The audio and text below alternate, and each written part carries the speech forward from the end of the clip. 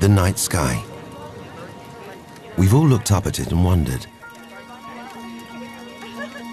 what's out there? Where does it end? When did it begin? We could spend forever wondering. Or we could set out to see the universe for ourselves and travel as far as we can go. To feel the fierce heat of burning stars. Face the force of violent cosmic collisions. Dodge Death Stars and insatiable supermassive black holes. Witness the birth of new stars and reach the limits of human understanding.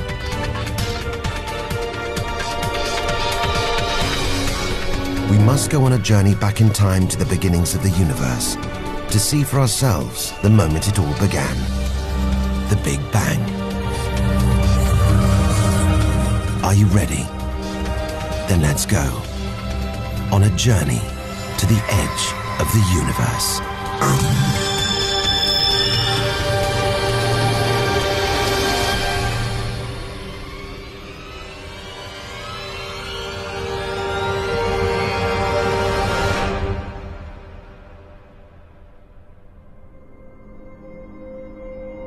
This is the beginning of space. Only a hundred kilometers up, just an hour's drive from home.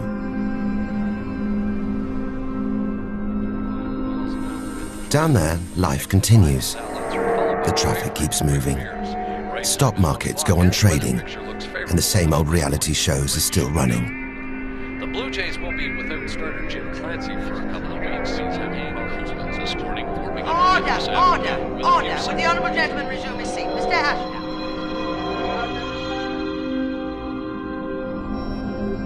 But we have to leave all this behind.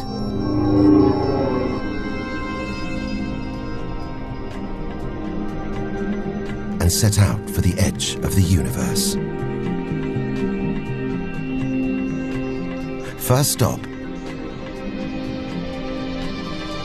the moon.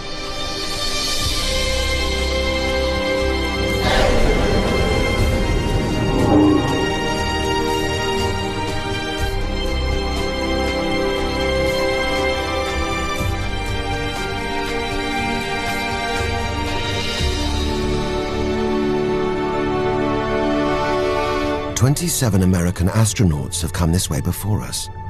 Twelve of them have walked on the moon itself.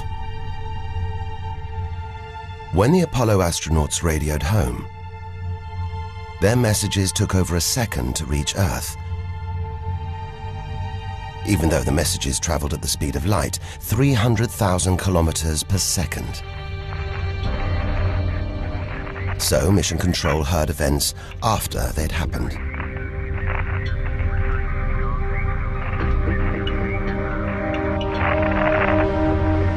If there's a second's difference between Earth and our nearest neighbor, imagine the difference if we make it to the edge of the universe. We'd be going back not a few seconds, but billions of years.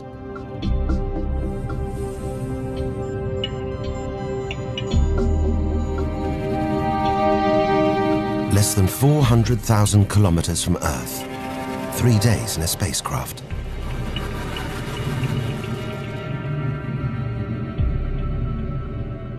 It looks like a deserted battlefield, bombarded by millions of meteoroids and asteroids. But it's quieter now. It's obvious there have been no major collisions for millions of years.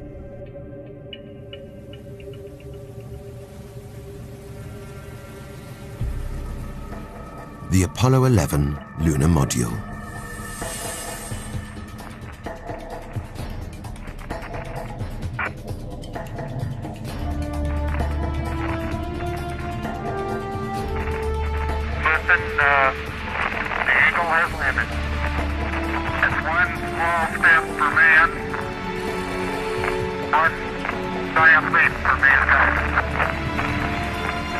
Apollo astronauts, the risks were high.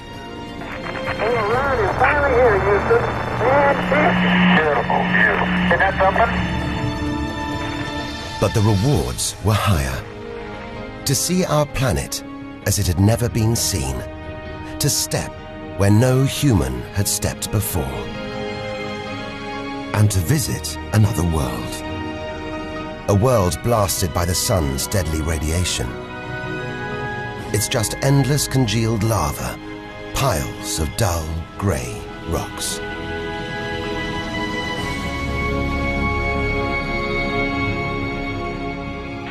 ahead. Oh, that view is tremendous. Go for it. The Apollo astronauts took hundreds of them home for scientists to analyze. And it turns out these dull grey rocks aren't so dull after all. NASA's scientists discovered the rocks had been superheated, evidence of a massive impact. Four and a half billion years ago, a stray planet smashed into Earth. It blasted billions of tons of molten rock out into space, and this came together to make the moon. Until this discovery, we thought the moon was unrelated to Earth, a space rock controlled by the Earth's powerful gravitational pull. Now we know it's made from the same material as our own planet, that the moon came from the Earth. They're setting up the flag now. Beautiful, just beautiful.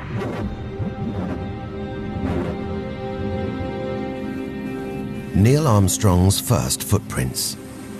They look like they were made yesterday.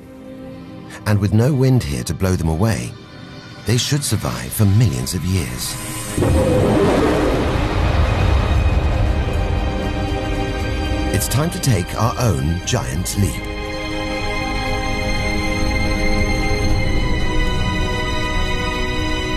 Further than any human has ever traveled.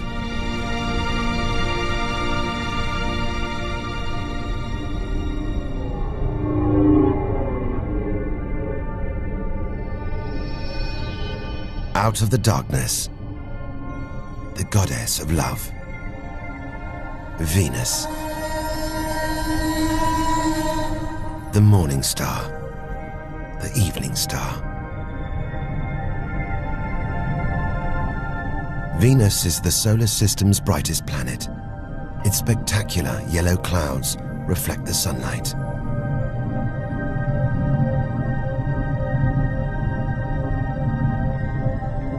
A sister to our planet. She's about the same size and gravity as Earth.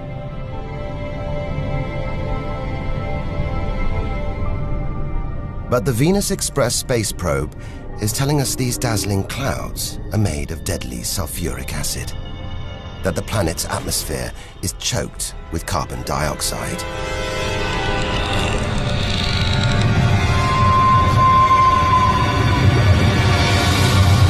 Venus is an angry goddess. The air is noxious, the pressure unbearable, and it's hot, approaching 500 degrees Celsius. Stay too long, and we'd be corroded, suffocated, crushed, and baked.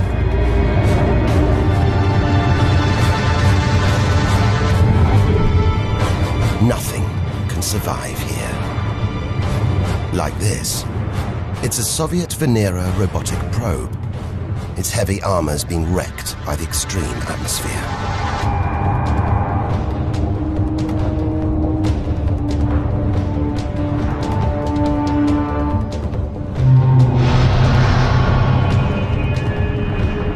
Lovely from Earth. Up close, Venus is the sister from hell pockmarked by thousands of volcanoes.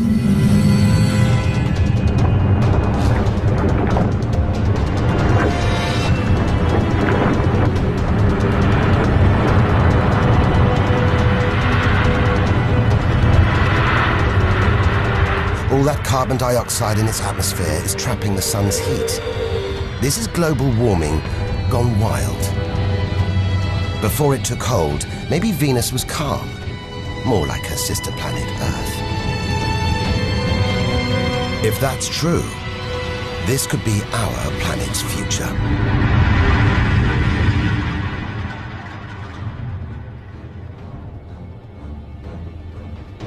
a future shaped by the sun.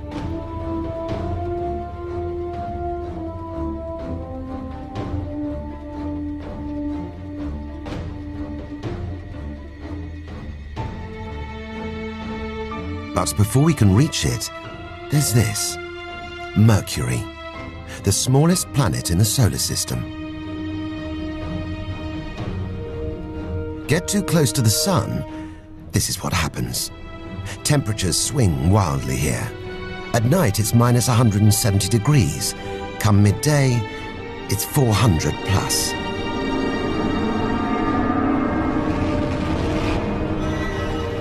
Burnt, frozen, and covered in scars. It seems Mercury had a violent past. The Messenger space probe is telling us something strange. For its size, this little planet has a powerful gravitational pull. It must be heavier than it looks. It's like a huge ball of iron, covered with a thin veneer of rock. The core of what was once a much larger planet. So where's the rest of it?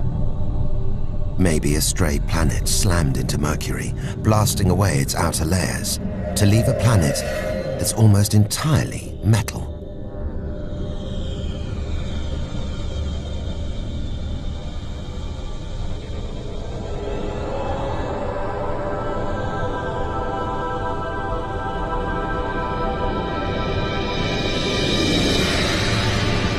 The sun, all its mesmerizing splendor. Everything we do is controlled by the sun. All our lives depend on it. Throughout history, across cultures, it's the pivot around which life on Earth revolves, nurturing our crops, structuring our days, inspiring our beliefs.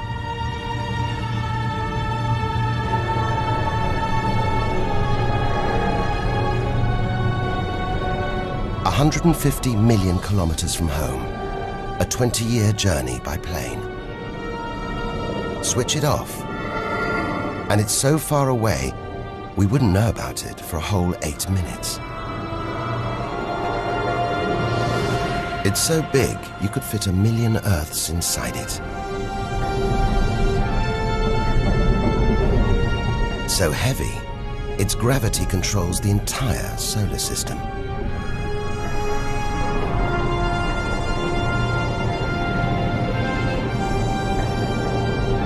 We see it every day, a familiar face in our sky.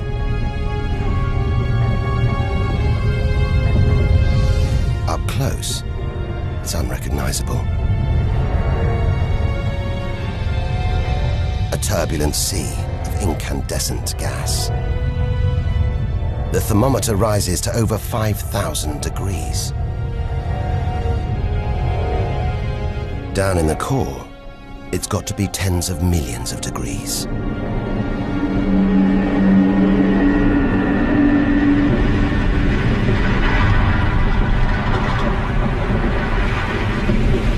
Hot enough to trigger a nuclear reaction, turning millions of tons of matter into energy every second. More than all the energy ever made by mankind. Back home, we see this energy as light and feel it as heat. But up close, there's nothing comforting about the sun. It's so full of electrical and magnetic activity. It's bursting out in these huge incandescent gas loops called prominences.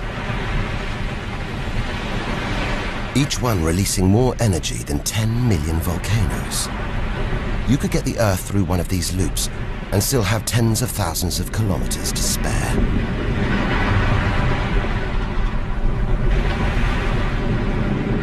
And where they burst through, it's exposing the cooler layers below, making sunspots. They're a fraction cooler than their surroundings. It's why they look black, but they're still hotter than anything on Earth. And they're massive too.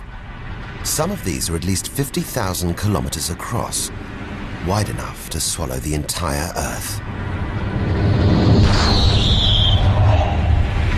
A solar flare. A superheated stream of electrified gas blasting deadly radiation out into space. But one day, the sun's fuel will be spent. It will die. When it does, so will life on Earth.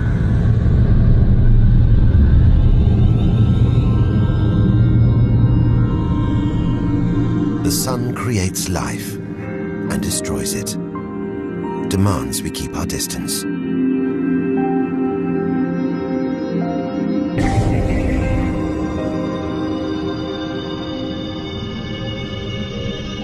This comet has strayed too close. It's being boiled away by the sun's heat, creating a tail that stretches for millions of kilometers.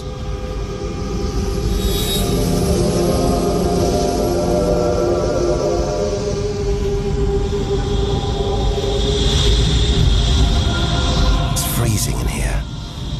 There's no doubt where this comet's come from. The icy wastes of deep space.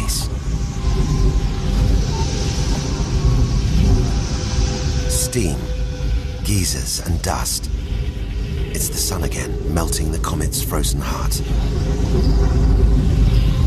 It's a kind of vast, dirty snowball, covered in grimy tar.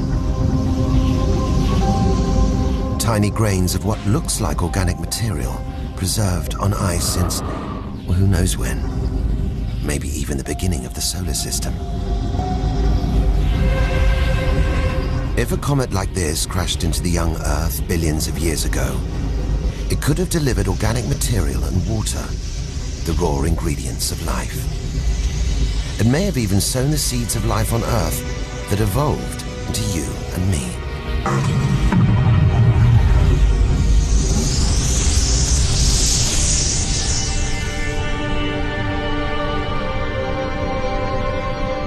But what if it crashed into Earth now?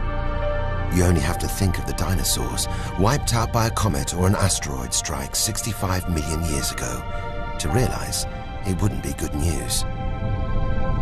It's just a question of time. Eventually, one day, unless we can find a way to protect ourselves, we'll face the same fate as the dinosaurs. The Earth is safe. For now. But if life on Earth was threatened, we'd need to escape and find another home. Among the millions, billions of planets, there must be one that's not too hot, not too cold, with air, sunlight, water.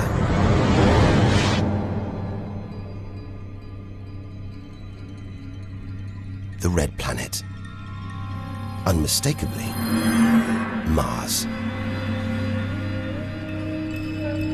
For centuries, we've looked to Mars for company, for signs of life.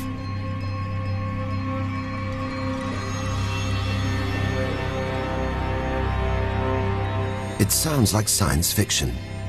But today, astronomers think Mars could be our best chance of finding alien life.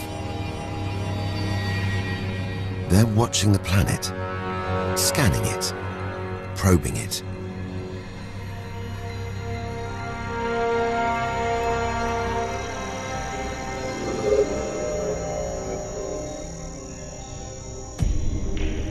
More than any other planet, Mars captures our imagination.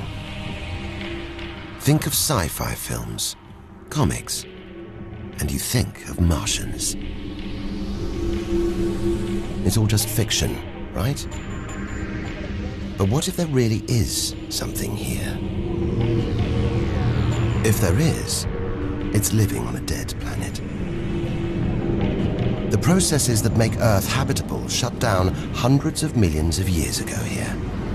Red and dead. Mars is a giant fossil. But there's wind here.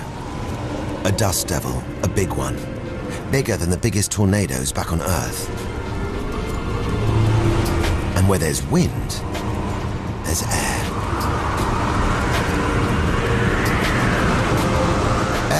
that could sustain extraterrestrial life. But it's too thin for us to breathe, full of choking carbon dioxide. There's nothing to protect Mars from the sun's ultraviolet rays. And it's cold, as low as minus 80 degrees, freezing water in the ground, at the poles, and even in the atmosphere, as snow.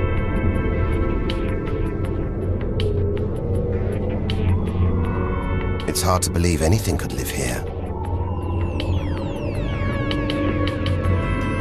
Back on Earth, there are creatures that survive in extreme cold, heat, even in the deepest, darkest ocean trenches. Even in the most extreme conditions, life usually finds a way.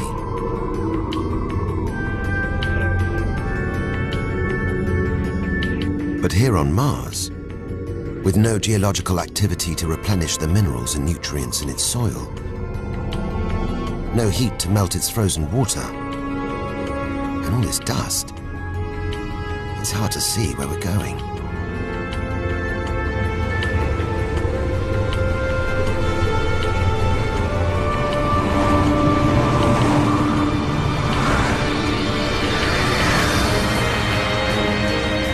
But the surface of Mars is dotted with remarkable features.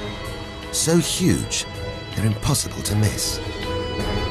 Olympus Mons, a vast ancient volcano, three times higher than Everest.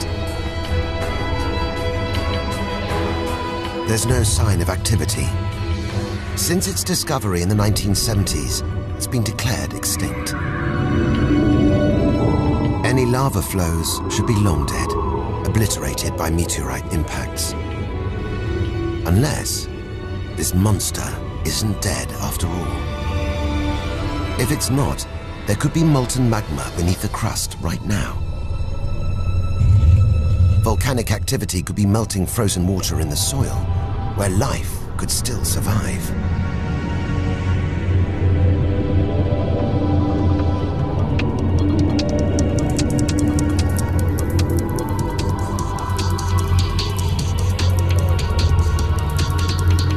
This makes the Grand Canyon look like a crack in the pavement. It goes on and on. So far, it would stretch all the way across North America. And there are signs of erosion of dried up riverbeds, as though volcanic activity melted ice in the soil, sending water flowing through this canyon. And if there's water running on Mars right now, then there's a chance we could find life here.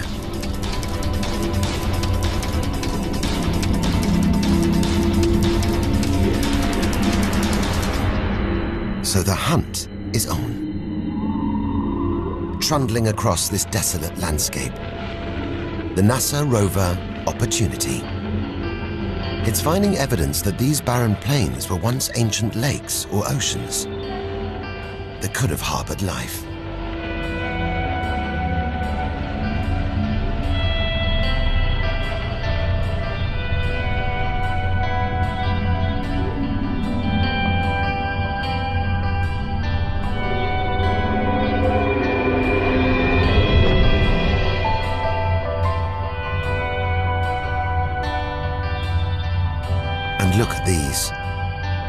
When probes orbiting Mars pass over these gullies, they keep spotting new ones. More proof that Mars may be alive and kicking. That there could be water flowing beneath its surface, creating these gullies. Water which could sustain Martian life.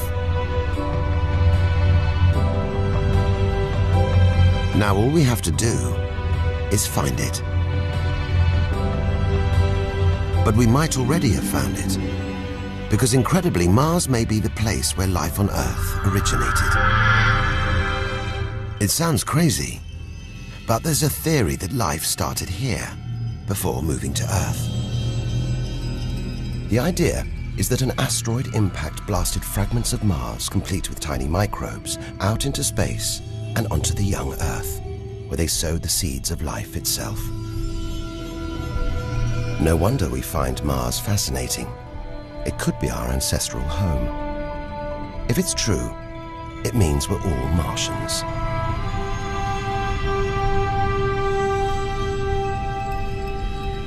We thought this was a dead planet, but it may be more alive than we ever imagined.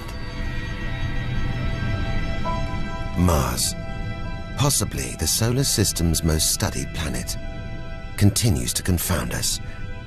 So what other surprises are out there, waiting to be discovered?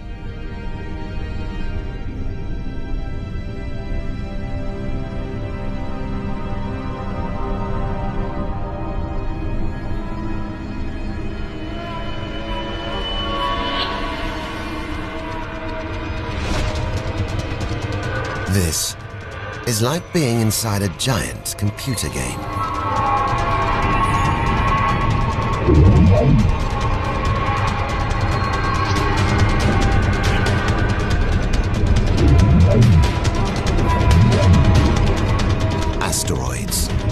Some of them hundreds of kilometers wide.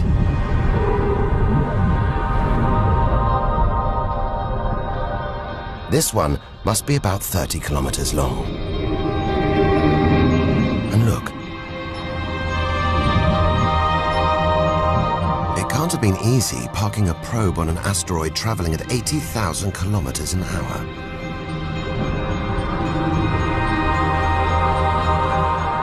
It's a lot of effort to investigate a lump of rock. Rocks that collide, break up, and rain down on Earth as meteorites.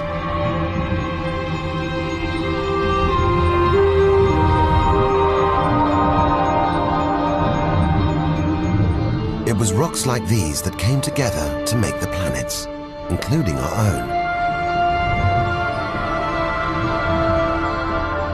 own. So by dating the meteorites we find on Earth, we know the planets were born four and a half billion years ago.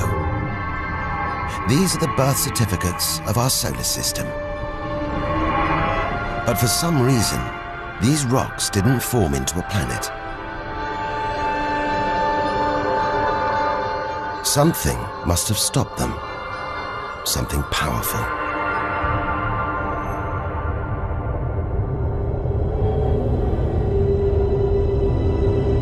Jupiter. What a monster. At least a thousand times bigger than Earth. So vast, you could fit all the other planets inside it. Something this big is going to have a major effect on its neighbors. Its gravity is stopping the asteroids from forming a planet.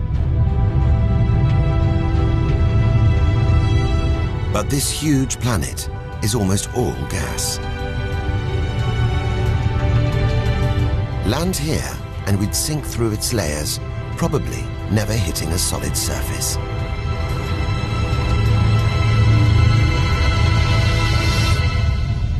And Jupiter's good looks, the product of extreme violence.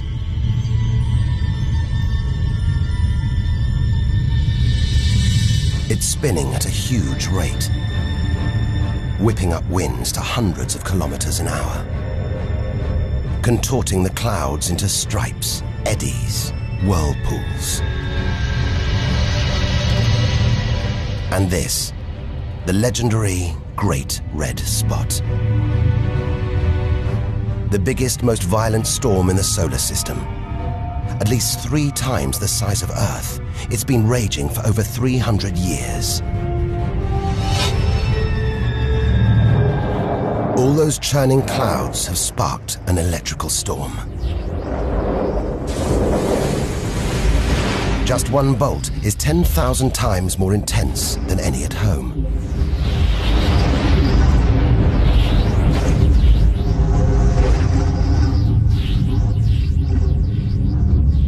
It seems the best place, the safest place to see Jupiter is from a distance.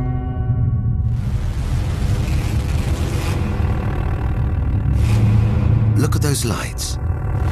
They're like the aurora back home, dancing around the poles. But even these are deadly. They're generated by lethal radiation pulled from space by Jupiter's powerful magnetic field. Alluring from a distance, terrifying up close. Out here, nothing is what it seems. The universe is full of contradictions. We have to proceed with caution, weaving through the paths of Jupiter's 62 or more moons. This multicolored moon is called Io.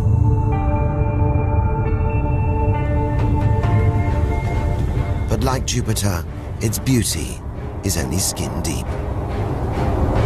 Those pretty colors are molten rock, sulfur, volcanoes, spewing burning hot ash and sulfur hundreds of kilometers into the air. Jupiter's mighty gravitational pull is twisting and stretching Io, creating enough friction to melt this moon inside. On our journey to the edge of the universe, we found no life, nowhere we could call home, so far. But there's always another planet, moon, another world of possibilities just over the horizon.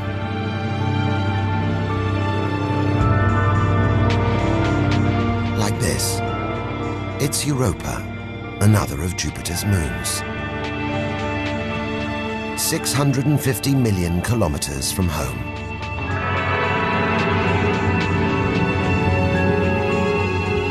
What a weird looking place.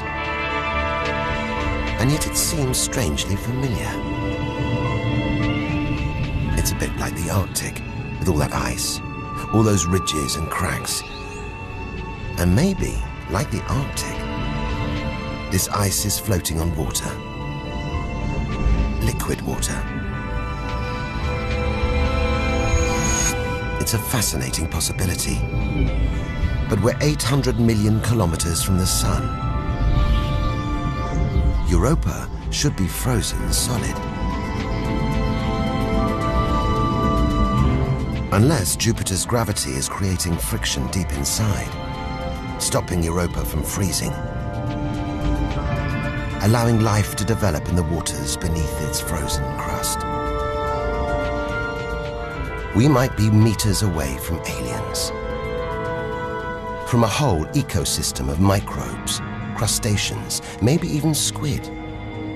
The only thing between us and the possibility of alien life, this layer of ice.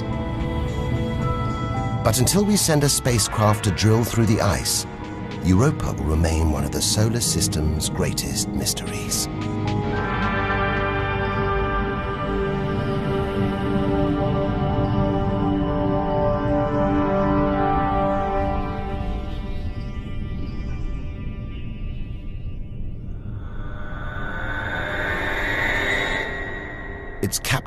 Our imaginations, haunted our dreams. And here it is, spinning before our eyes. Saturn, the jewel in the solar system's crown. There's something magical about Saturn. A giant ball of gas, so light it would float on water. Its spectacular rings would stretch almost from Earth to the Moon. But they're just a few hundred meters deep. The Cassini orbiter. It's picking up ghostly radio emissions, probably generated by auroras around Saturn's poles. This is the real music of the spheres. And it's telling us these rings are most likely all that's left of a moon shattered by Saturn's gravitational pull. Incomparable beauty from total destruction.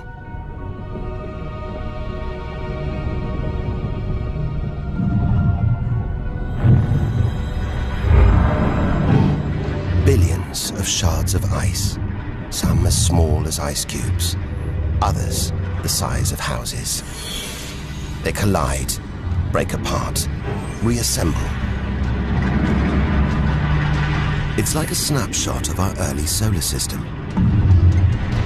as dust and gas orbited the newly born sun. And gravity worked its magic, pulling the lumps together. Until from debris like this, our planet emerged.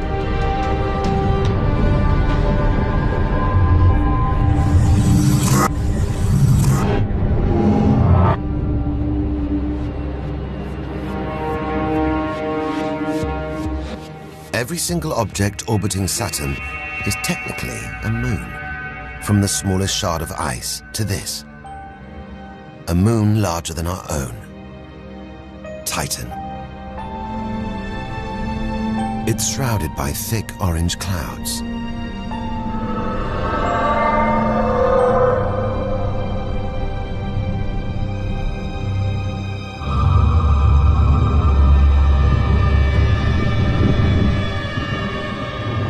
Beneath them, it seems like there's an atmosphere down here. There's wind, rain, even seasons. And rivers, lakes, and oceans. It's the most similar place to Earth we've seen so far. Except that's not water. That's liquid natural gas. There must be hundreds of times more natural gas here than all the Earth's oil and gas reserves. If we could get it home, it could power our cities, fuel our cars for thousands of years. Or maybe, one day, we could use it here to fuel a colony. Assuming there isn't life on Titan already.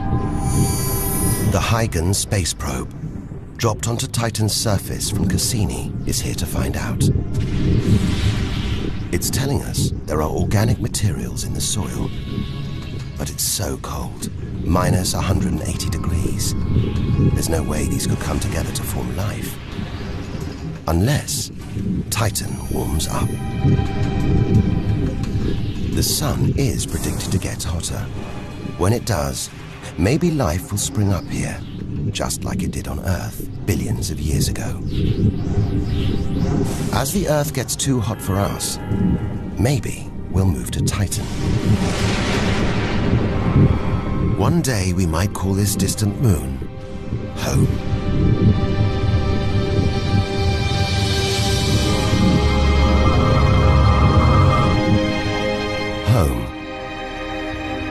At least a billion kilometers away now. Beyond this point, we lose visual contact with the Earth. And whatever's out there is invisible from Earth with the naked eye. We're heading into the solar system's mysterious outer reaches, territory that for most of history nobody knew existed.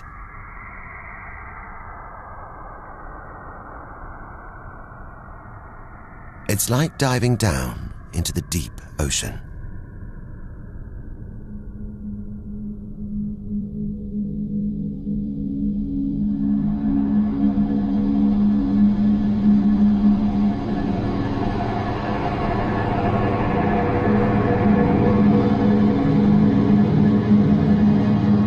Uranus. Its strange rings were only discovered in 1977. They make this giant planet look as though it's been tilted off its axis, toppled over in an ancient collision, perhaps with a stray planet. It feels a long way from home. But the truth is, we've barely left the shore. We're over 2 billion kilometers from Earth, but to reach the edge of the solar system, we've got to travel 10,000 times further.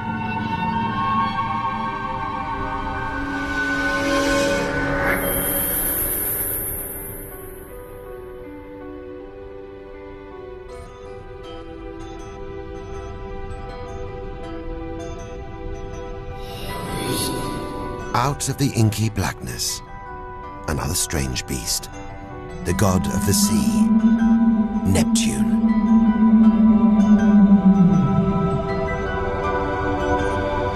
It looks serene, but that spot is a storm the size of Earth. whipped up by savage 1500 kilometer an hour winds.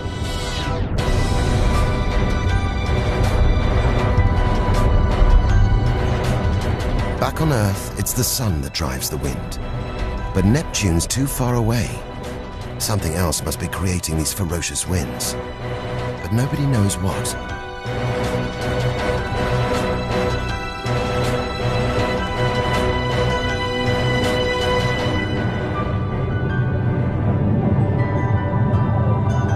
plunging further into the solar system's outer reaches. Orbiting the gas giant, a solid moon, Triton. It's solid, but far from stable.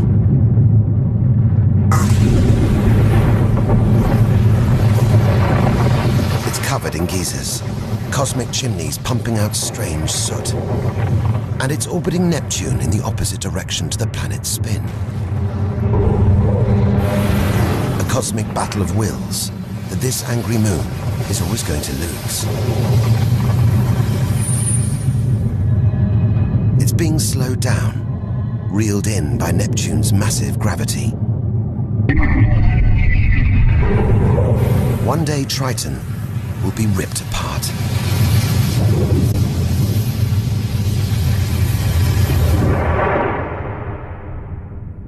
We've seen every planet in our solar system. But beyond the planets, it's not empty. It's teeming with frozen rocks, icy spheres.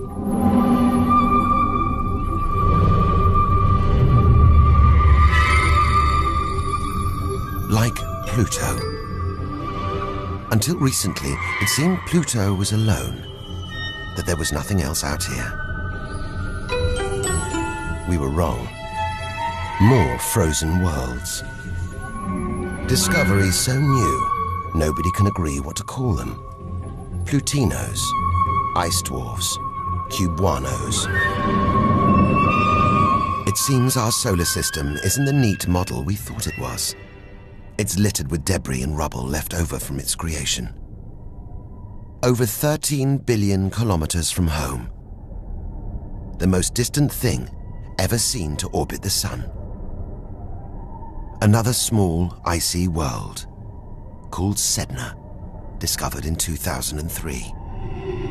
Its orbit takes 10,000 years and sends it 130 billion kilometers from the Sun. There's something else out here. 16 billion kilometers from home, the space probe Voyager 1. If it wasn't for this, we'd have no images of the giant planets, no clue about their strange moons.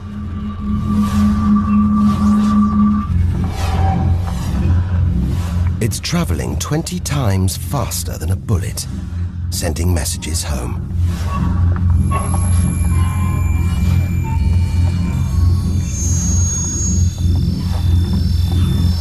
That gold panel, it's a kind of intergalactic message in a bottle. There's a greeting recorded in 55 different languages.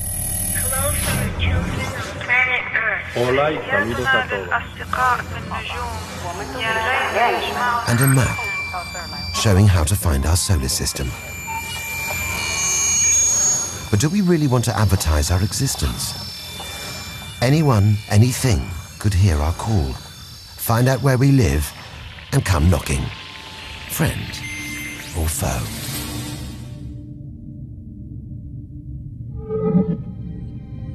Next, a cloud of cosmic icebergs frozen blocks of water, dust, and gas, like the comet we saw earlier. It was comets that may have planted the seeds of life on Earth billions of years ago. And if they came from out here, seeing all this ice, perhaps they carried water to Earth too. The water in the oceans, in your coffee, even in your body, all from this distant celestial ice machine.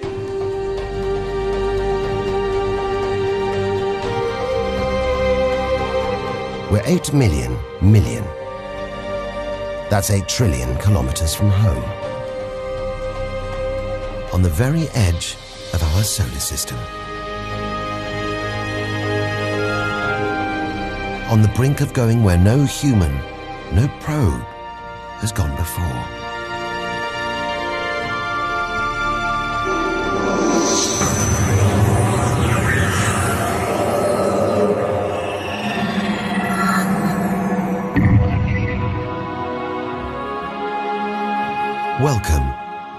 Interstellar space.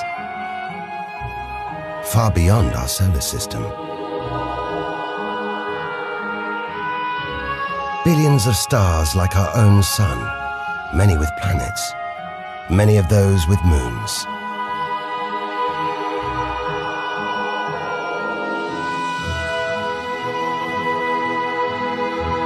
Infinite possibilities in every direction. Whichever way, we're going to need a serious burst of acceleration.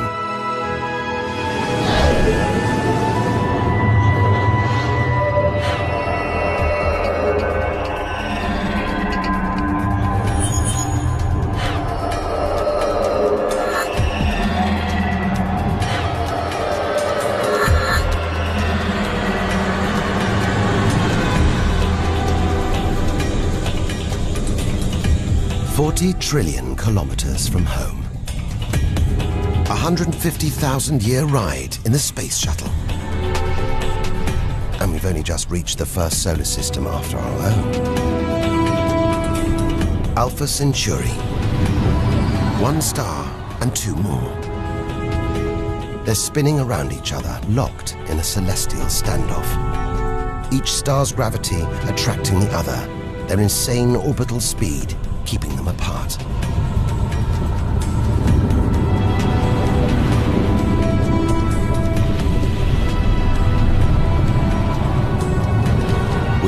Far from home now, the kilometers are becoming meaningless. We're going to have to talk in light years.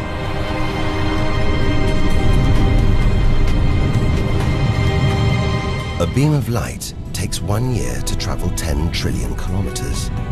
So 40 trillion kilometers is over four light years from home.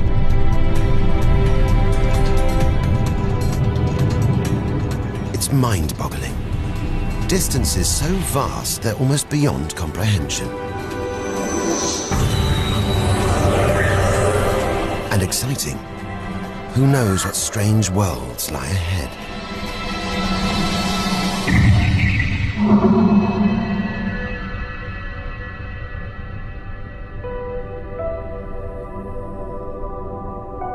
Ten light years from Earth, the star Epsilon Eridani.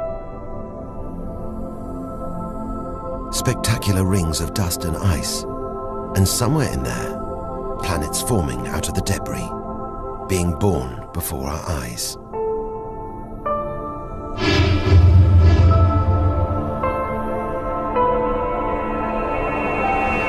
Asteroids and comets everywhere.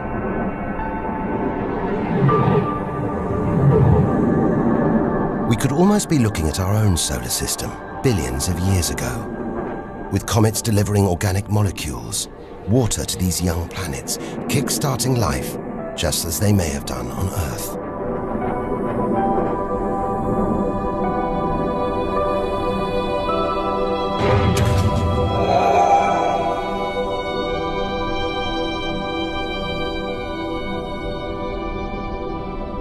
At the center of all the action, a star smaller than our own sun.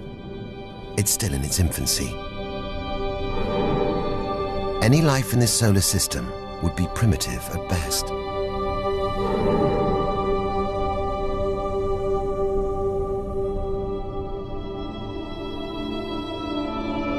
There must be more mature, developed solar systems out here.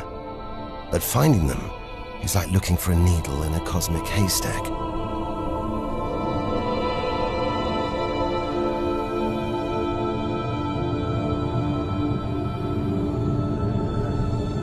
We're now 20 light years from Earth. Star Gliese 581.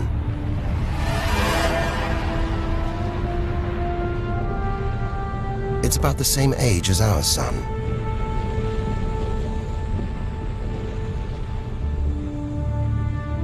And orbiting it, this planet. It's just the right distance from its sun. Any closer and water would boil away. Any further, and it would freeze. Ideal conditions for life to have evolved.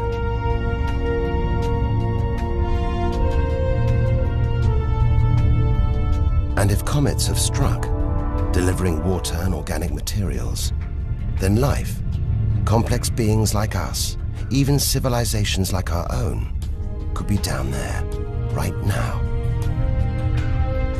If there are, even at this distance, they could be tuning into our TV signals, watching shows broadcast from Earth over 20 years ago. And here's your host, Joe.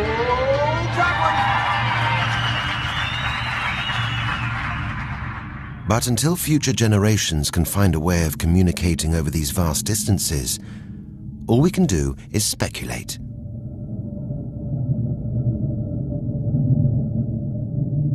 In fact, life may have already prospered here, only to have been annihilated.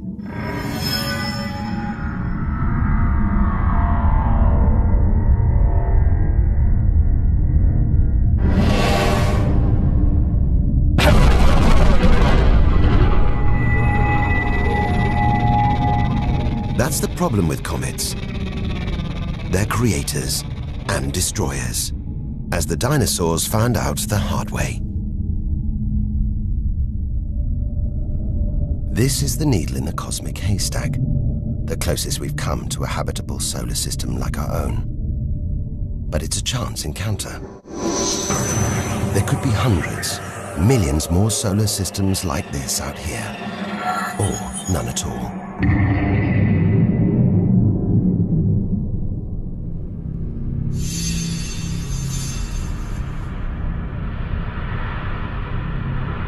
This is vast. And look, some of its atmosphere is being boiled away by its nearby star.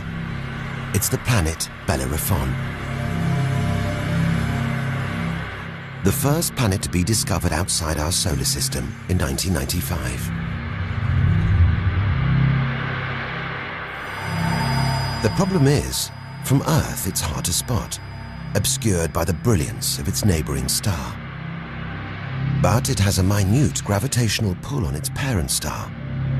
Measure these tiny movements trillions of kilometers away, and we can prove this planet exists. That's how we tracked down Bellerophon and opened the floodgates to the discovery of hundreds of other distant planets. The further we go, the further back in time we travel. We're 65 light years from Earth. Tune in on this bright star, and you'd pick up TV signals from Hitler's Berlin Olympics in 1936. Verfeilen der 11. Olympiadensteuerzeitrechnung als eröffnet.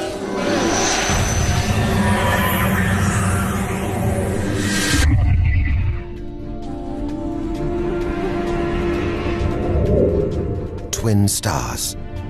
It's Algol, the demon star, feared since ancient times. From Earth, it appears as one star that flashes on and off. But up close, we can see in reality, it's two stars. And one is being sucked towards the other. Almost a hundred light years from home. Listen. One of the first ever radio broadcasts.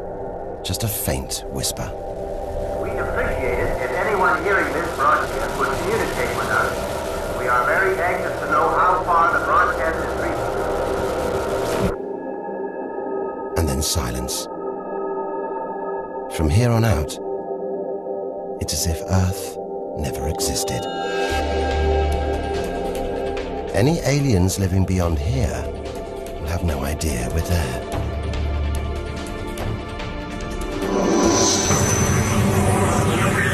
And the further we travel, the less familiar, more dangerous our universe will become.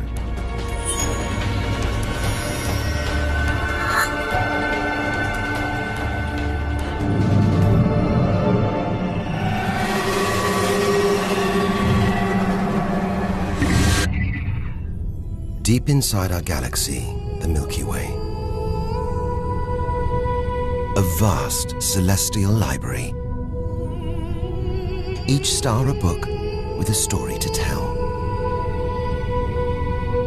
The Seven Sisters, transformed into stars in ancient Greek myth.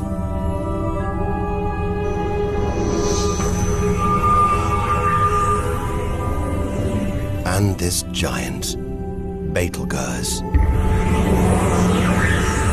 The brightest, biggest star we've seen so far, at least 600 times wider than our sun.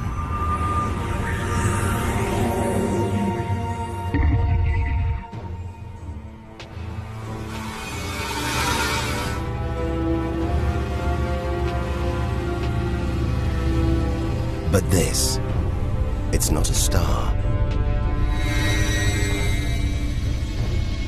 Not a planet. Not like anything we've ever seen.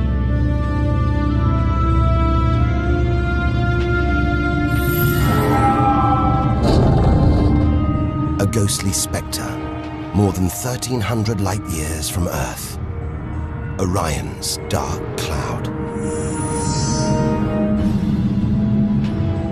Dust and gas, so dense it's blocking out the universe beyond.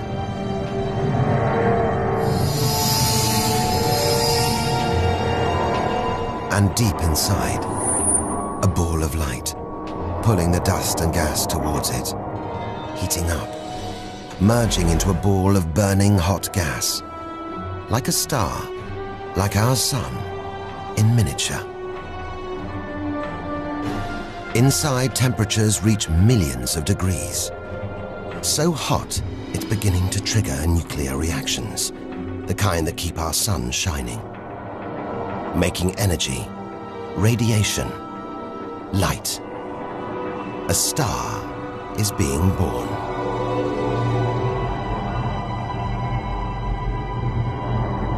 Rather, stars.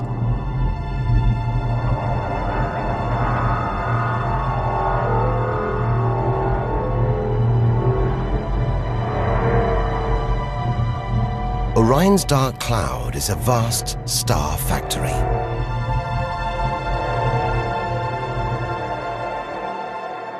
We came here expecting horrors. Instead, we've discovered one of the universe's greatest wonders star birth.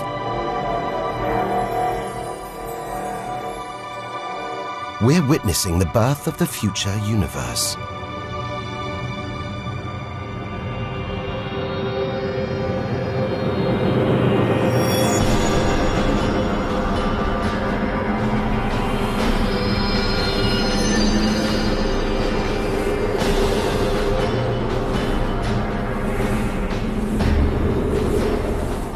Gas, exploding outwards at 200,000 kilometers an hour.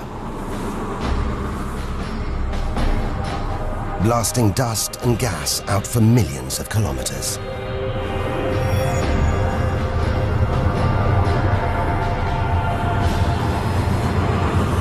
It's unbelievably violent.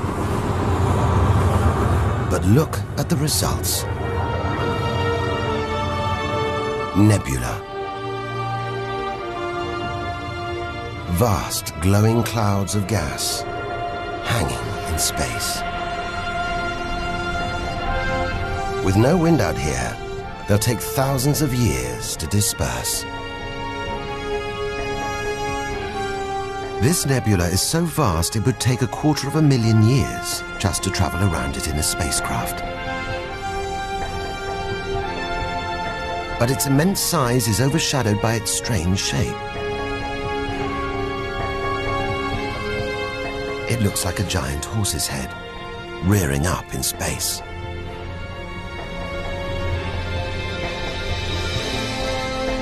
Stars are born, grow up, and then... Then what? Do they die? Do they slip quietly into the night?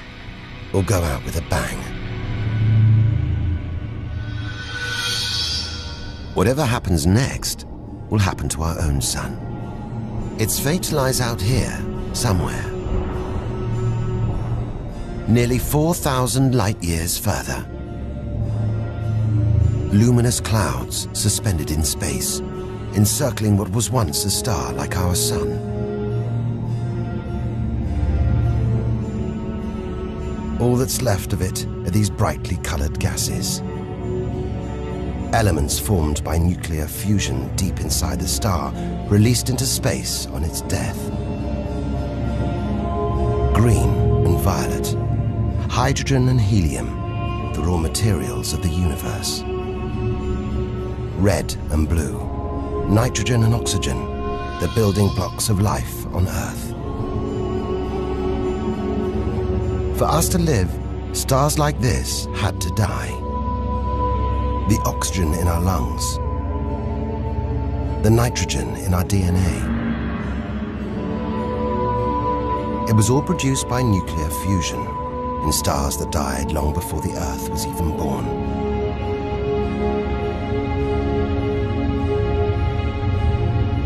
We are made of stellar nuclear waste.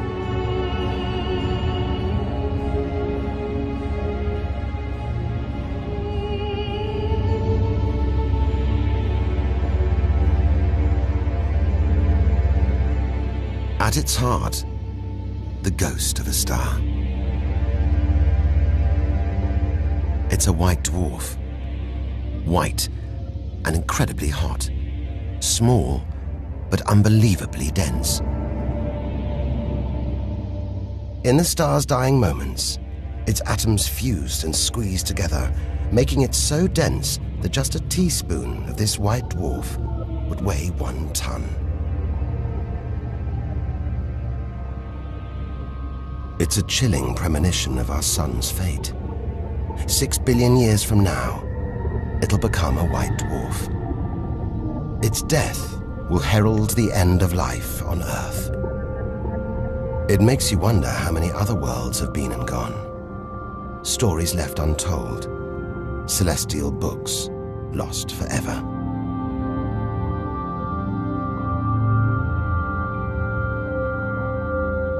But the greatest story of them all is still to be told. We must go back through time to the very first chapter to tell the story of how the universe began.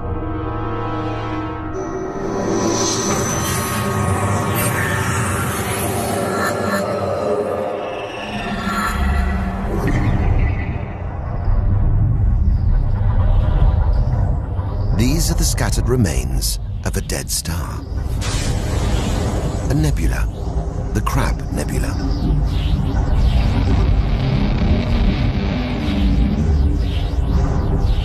We're 6,000 light years from home, deep inside a stellar graveyard.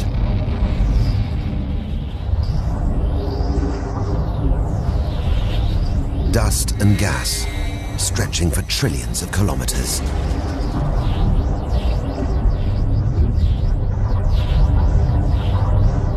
It looks dead. But maybe this is just the calm after the storm. After a massive explosion. Powerful enough to turn a huge star into a cloud of dust and gas.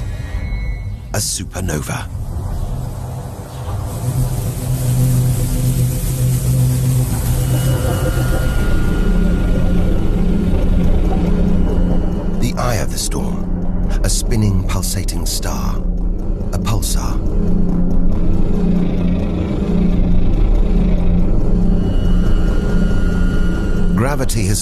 The giant star's core down to this. It's just 20 kilometers across, making it unimaginably dense. One pinhead of this would weigh hundreds, maybe millions of tons. As it shrank, like a figure skater spinning on the spot, arms outstretched, then pulling them in, it began to spin faster. Two beams of light, energy, radiation, spinning 30 times a second, powering the huge cloud of dust and gas.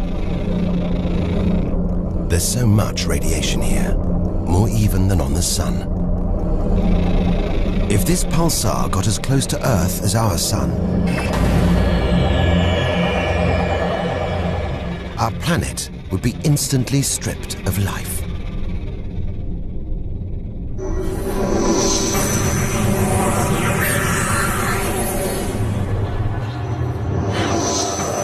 That was easily the deadliest thing we've encountered so far.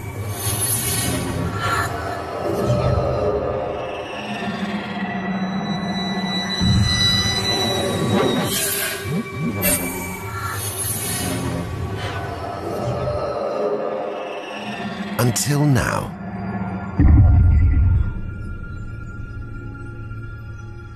It's the one thing we didn't want to encounter.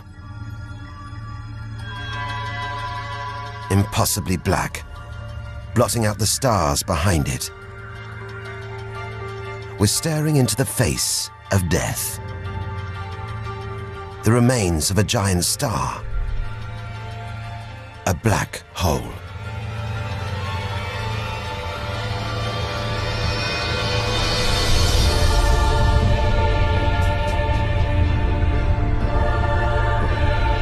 Instead of contracting to a white dwarf or a pulsar,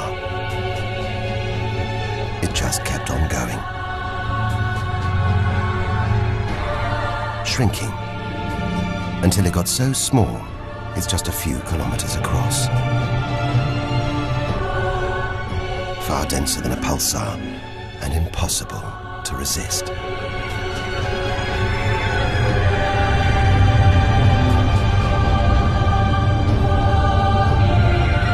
Stray too close, and there's no turning back. Now we know why it's a black hole. Its gravity is so intense, not even light can escape. This asteroid, a lump of solid rock, is stretching, being dragged towards the gaping hole. Inside, there's no matter as we know it. No time, no space.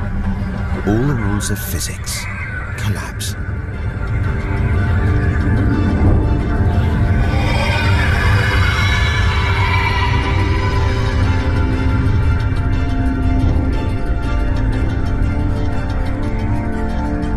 The asteroid is gone. Truth is, nobody really knows where. We're looking at the limit of scientific knowledge. There could be millions of black holes creeping around our galaxy. More perhaps than all the stars in the sky. But we wouldn't see them until it was too late.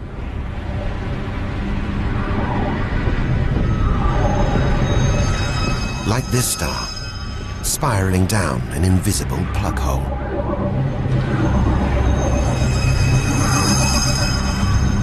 Who's to say we don't live inside a vast black hole?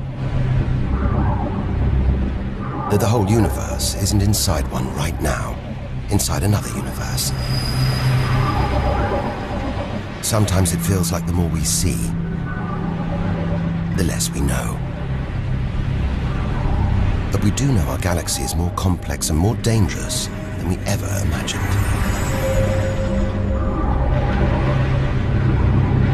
And we're only in our own galaxy, the Milky Way. The rest of the universe still lies ahead.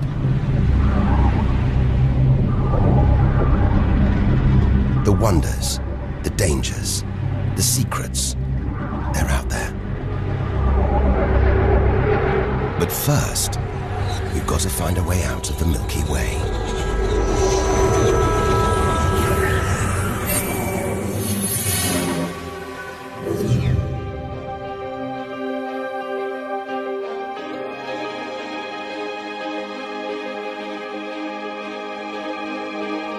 Now 7,000 light years from home, deep inside our own galaxy. Traveling towards the edge of the universe.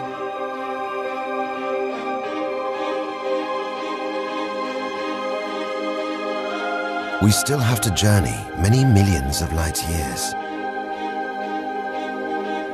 But there's plenty to see on the way. Colossal glowing cloud topped by these great towers of dust. The pillars of creation. Like a gateway into the far galaxy. Both pillars are studded with tiny bulges, embryonic star systems, each one the size of our solar system. It's another monument to nature's astonishing creativity. But not a permanent one. Radiation from hot stars nearby is destroying it. In just a few million years, this immense nebula will be gone. The blink of an eye in astronomical terms.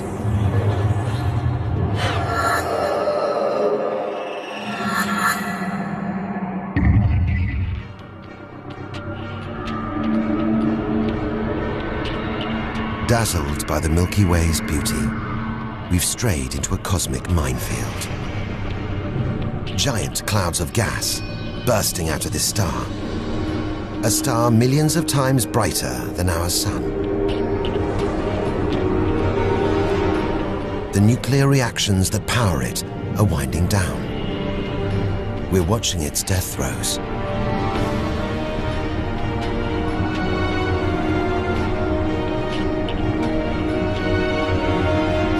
Eventually, the core will implode. The result? A new black hole.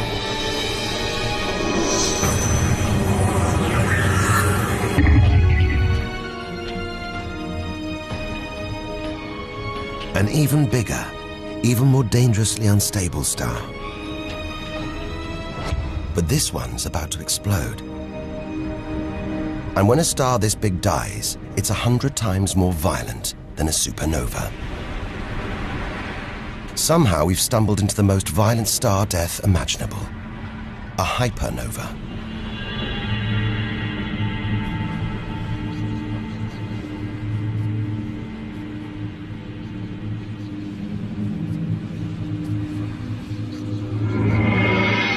The core's collapsed. It's becoming a black hole.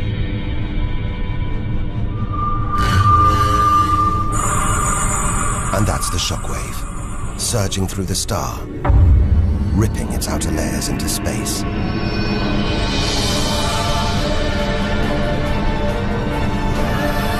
There's lethal radiation everywhere, enough to have a catastrophic effect on any planet unlucky enough to be nearby.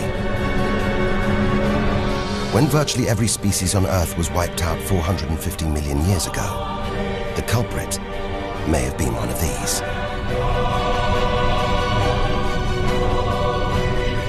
Deadly hypernovas, frozen comets, scorched planets, white dwarfs, red giants, Earth. Tiny drops in a vast pool of white light. Our home galaxy, the Milky Way. We wanted to know where we fit in. Here's our answer.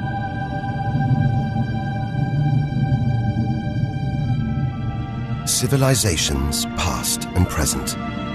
Everyone that's ever lived. The smallest bug, the highest mountain. All of it. Invisible. Not even a tiny speck.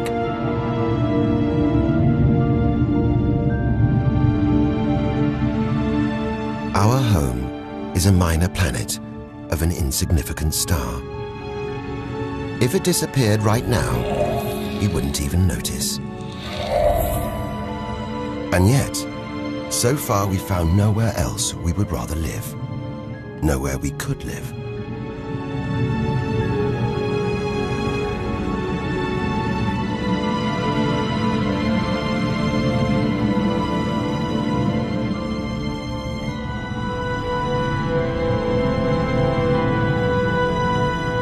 But look at all these stars. Hundreds of thousands of them. Surely one of these, more than one, must be capable of supporting life.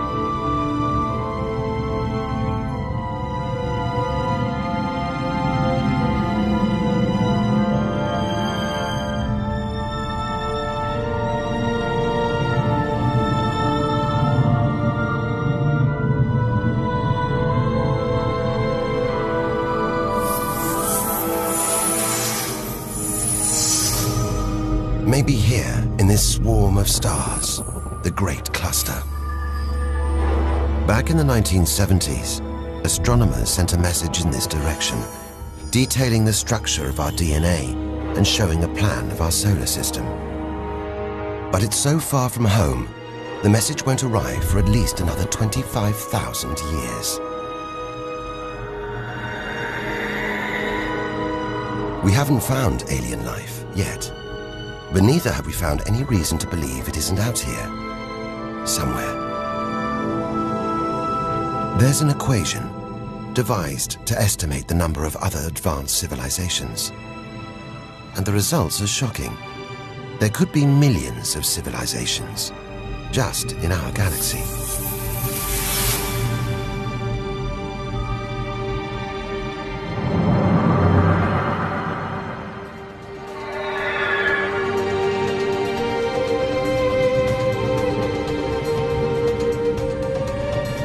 Everything we have seen so far is inside the Milky Way. Now here's our chance to see other galaxies, to glimpse the even bigger picture, and perhaps to answer the ultimate question where does all this come from? It's time to leave our solar system, our galaxy.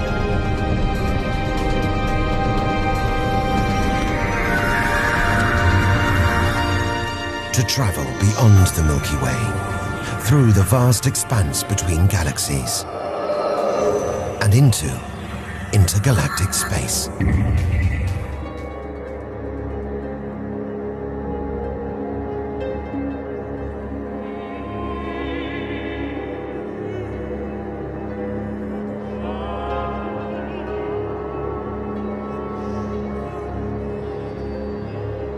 Out here, there's no horizon in sight. Even the closest galaxies are hundreds of thousands of light years away.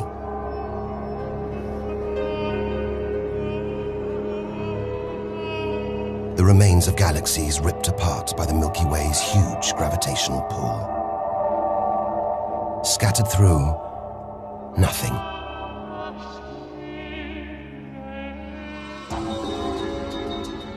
This is as close as the universe gets to a perfect vacuum. But even this isn't totally empty. There are thin wisps of gas, fine traces of dust, and something else. Dark matter.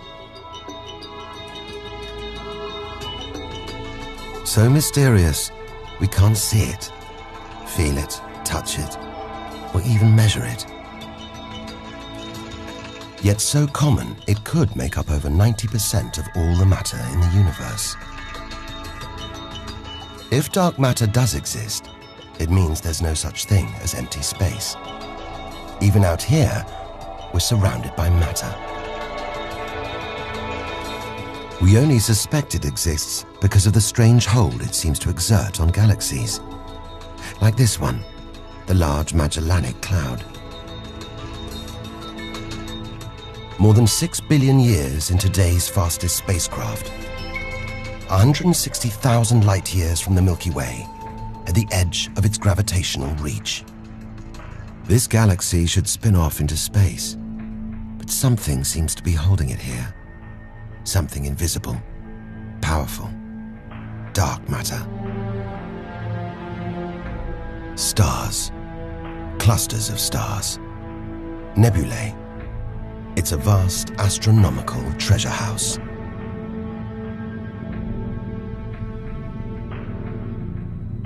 A fireball, expanding out from what must have been a massive explosion, a supernova. So bright that when light from the explosion reached Earth in 1987, it was visible with the naked eye.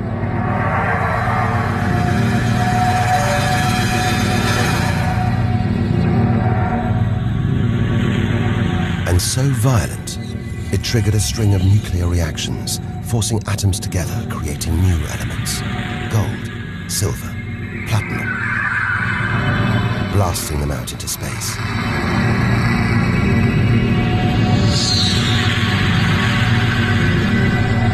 The gold in the ring on your finger was forged in a massive supernova like this. Trillions of kilometers away, billions of years ago. It's an astonishing thought. The stars, which seem so remote from Earth, directly affect our lives.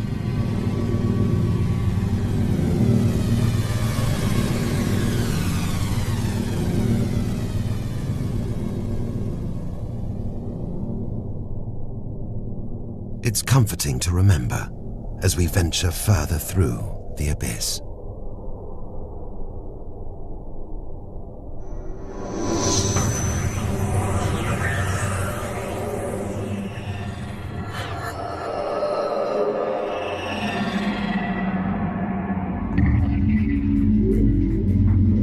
Andromeda Galaxy, two and a half million light years away. It's moving through space at nearly a million kilometers an hour.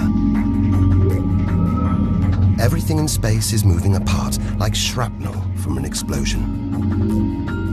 We're seeing this galaxy as it was when our ape-like ancestors first walked across the African plains.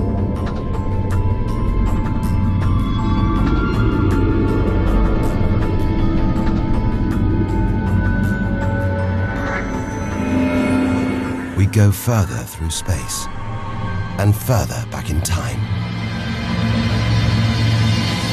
to find a whole galaxy exploding.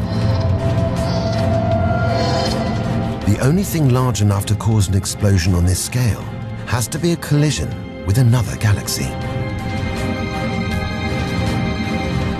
But this galaxy won't die. It'll be reborn.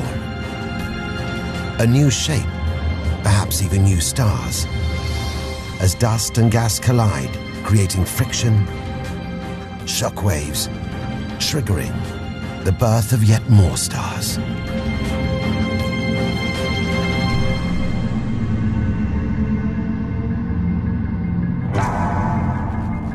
There's order in this chaos, a pattern behind the infinite variety, an endless cycle of birth and death, creation and destruction. It's a pattern woven through the vast fabric of space that binds each of these galaxies. There are billions of galaxies in the universe, each with billions, even trillions of stars. Possibly more stars than there are grains of sand on all the beaches on Earth. And all of these are just the stars that exist now. What about the stars that have been and gone? All the stars being born, yet to be born. We're finally beginning to see the big picture. And it's bigger than we ever imagined. This galaxy, the huge Pinwheel Galaxy, is so far from Earth that if we send a message home now, it will take 27 million years to get there. Who knows whether our species, our planet, will still be around to receive it.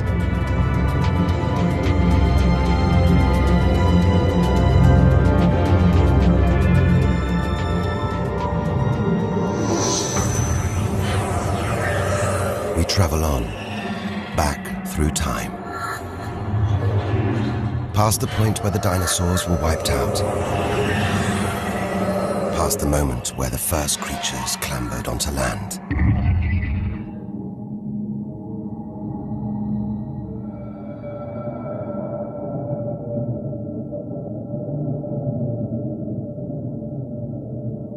Two billion light years from home, closing in on the edge of the universe, going back to the beginning of time. This isn't a galaxy. It's brighter than hundreds of galaxies put together. A blinding beam of energy bursting out for trillions of kilometers.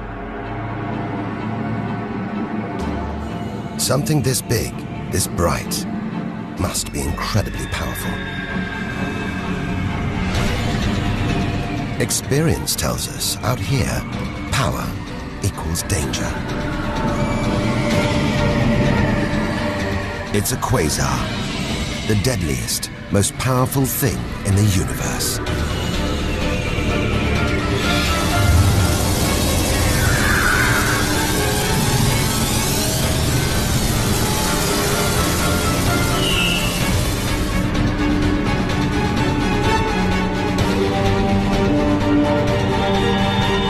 A swirling cauldron of super hot gas.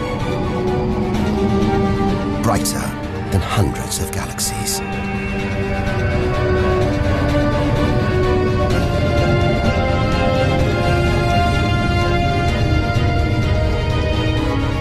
The source of this awesome power lies deep inside the heart of the beast.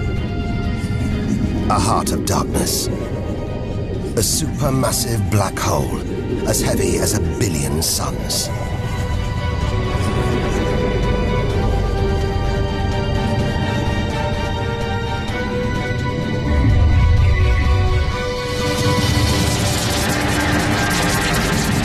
It's ripping apart whole stars, sucking their gases into the quasar, devouring them. Until they're nothing. Lost forever from the visible universe.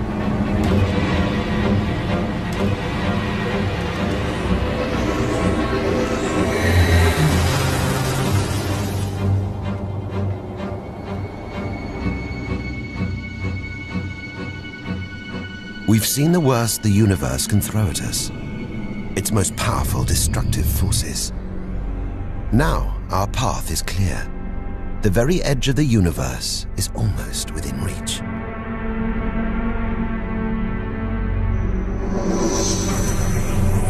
But we still need to go further, faster, if we're to cross the final reaches of the universe.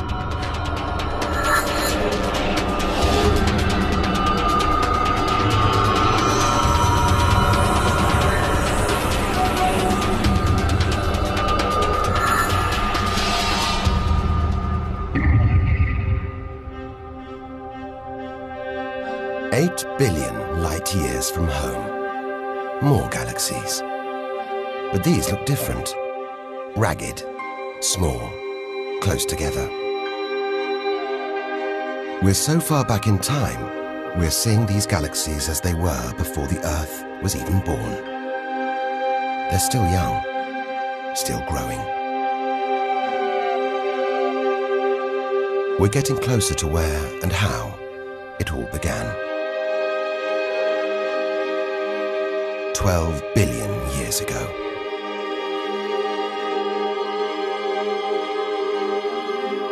Look at the galaxies now. They're more like primitive plankton floating in a vast, dark ocean.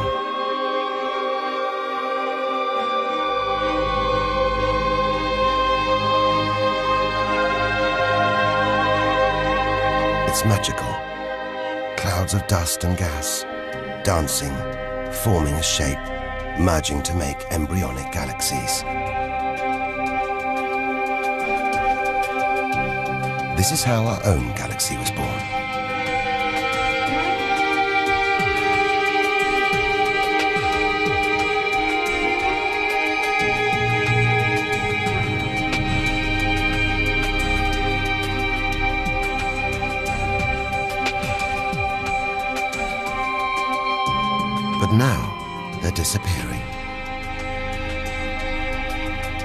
We've gone back before the stars were born, into a cosmic dark age.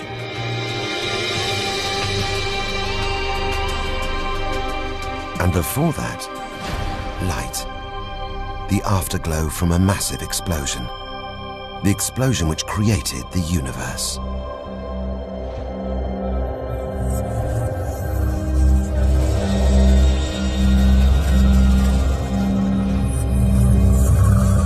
There.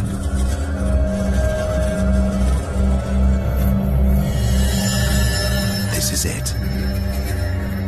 We've made it. The edge of the universe. 130 billion trillion kilometers from home. 13 and a half billion years ago.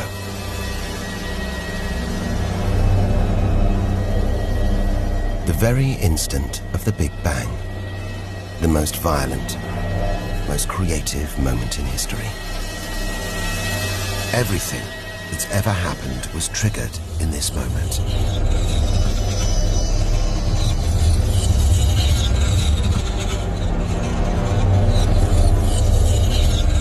Every religion, every culture has pondered it.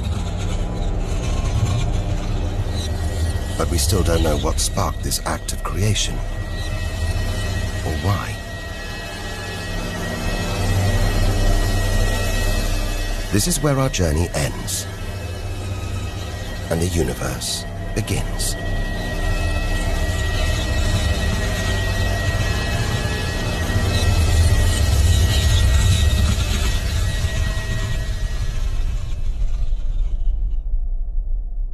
An infinitely hot, small, dense point erupts.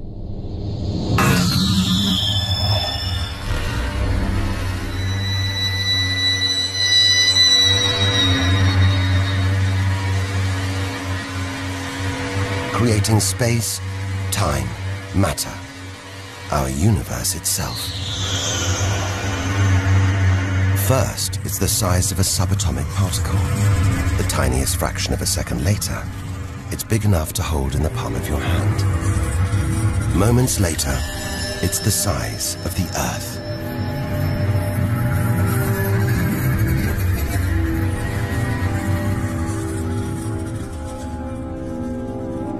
Today, the light from the Big Bang is still spreading out as a hiss of radio static. Your TV aerial picks it up. You can see it as static on an untuned TV.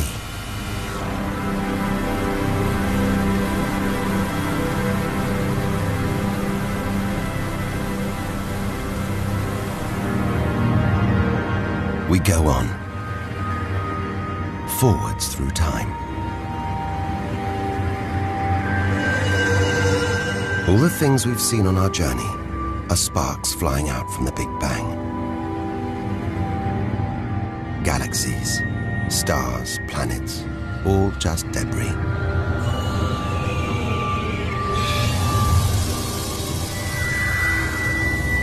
Back through our galaxy.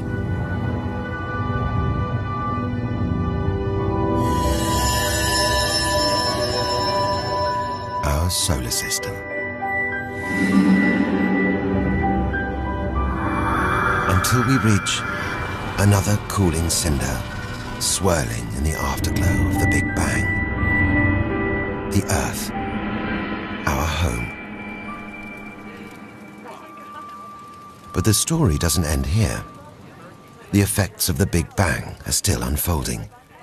The universe still changing.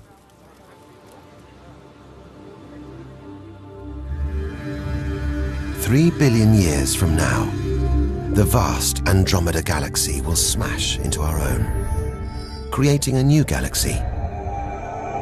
The sun and planets will survive, but they'll be thrown into a huge looping orbit around the new galaxy.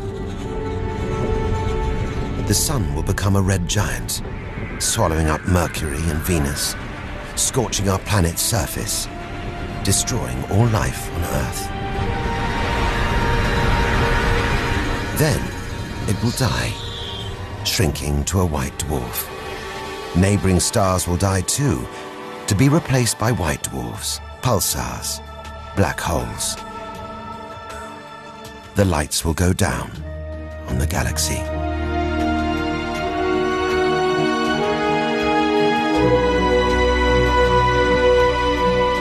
Since the Big Bang, the universe has been fading, dying not with a bang, but with a long, drawn-out whimper.